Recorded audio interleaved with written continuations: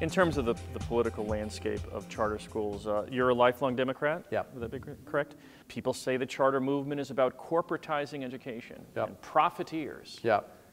How do you answer them if at Yeah. a cocktail party or a barbecue, so you overhear someone Yeah. saying that? Well, we're, we're, we're a nonprofit, so that kind of takes care of the profiteer. I've even said that to before to people, and they say, "Well, but that doesn't control the high salaries some of the nonprofits can give their executives." Yeah, yeah. It it is, that's always a funny statement because you look at the charter salaries versus like superintendents in urban areas and stuff like that. They're, I don't think they're really comparable. But, but I guess what I'd say is that this idea that the government should run all the schools as a single kind of monolithic thing, if that was the right idea, we wouldn't exist, right? So I, I think that, you know, the challenge for this sector is that the initial approach did not work.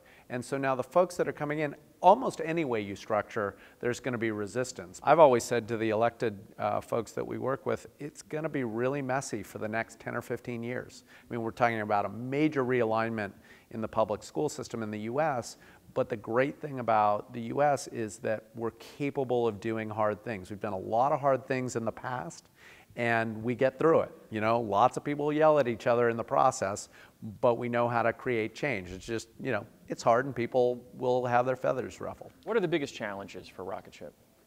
Well, the first and- largest challenge, of course, is that we operate schools in California, and California is doing their best to strangle all of their public schools right now. So, so uh, a couple good examples is that California was the lowest funded state for its schools five years ago, and then they began to cut. So, so now I think we're the lowest funded state by 30% or something like that. It's like 4,000 something a kid now. And so, so that's a problem. But, but the even bigger problem is that the legislature figured out that if they put in the budget how much they were going to pay us, but just paid us late, that would be okay. And so now they pay 270 days late. So we perform the services, and nine months later they pay us. Um, and, and so that's like if you net everything out. Is that in the law?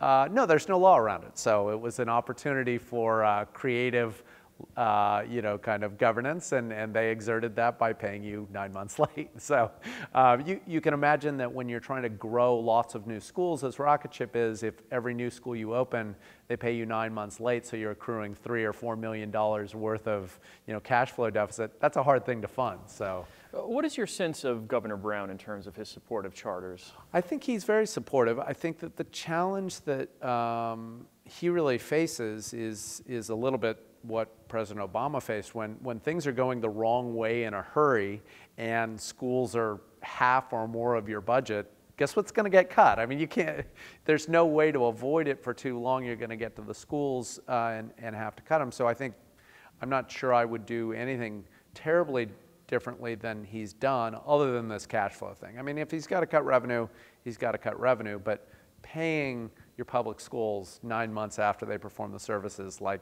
bad things are going to happen over a long period of time. So I'd like to see that fixed. But in general, he's been he's been pretty good on charters. He started a couple charter schools in Oakland. Yes. So he really understands the issue.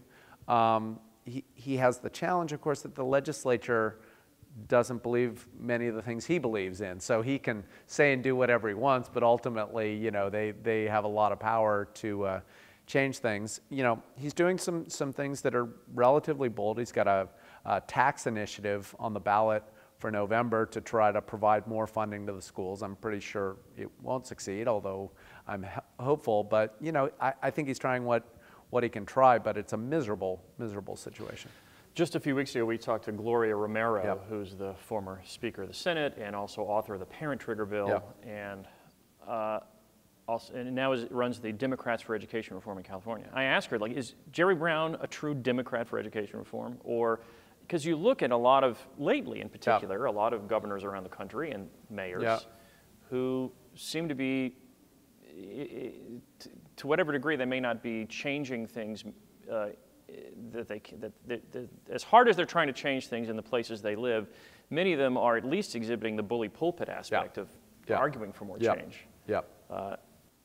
Is Governor Brown doing that? Is he basically talking about choice enough? I, I mean, I think you've got a blue state, red state issue. I, I've been pretty clear as we've been going out there that, that pretty much any governor in a blue state, especially a Democrat in a, in a blue state, uh, you know, you've got to be somewhat of a political realist. You can go so far, and then the powers that be will reel you back in. And I think that happens to him, and I think he stretches it compared to a Scott Walker or, um, you know, Chris Christie or Chris? Christie or, or, or uh, you know, Tennessee, Florida. Yeah, These Bobby places, Jindal, sure. yeah, these, these places, Bobby Jindal in, in Louisiana, th- these places where the governor really is not beholden to the current system in any way, they have huge advantages, I think, right now. When you need significant change in order to realign the system to start working again, you kind of need somebody that just doesn't really care why the system was working that way, but they can just tell the truth and do the right thing. We actually think that, that you know, um, there's a, a benefit to having a Republican governor that doesn't care why the system works that way, and a Democratic mayor who actually cares about what's going on, you know, at, a, at, at a, a lot more depth in the schools, and and that seems to work very, very well. I mean, you know, New Jersey and, and, and Newark are a, a very good example of that, where Christie can just say, no, this is the way it's got to be, and then and then uh, Cory Booker's of- Booker Booker can basically do the right thing with the kids in the schools. That's that's ideal, I think, in a lot of ways.